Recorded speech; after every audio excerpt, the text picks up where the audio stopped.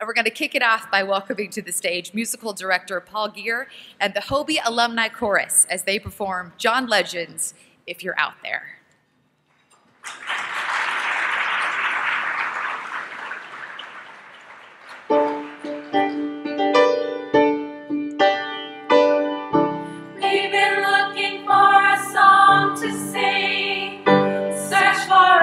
melody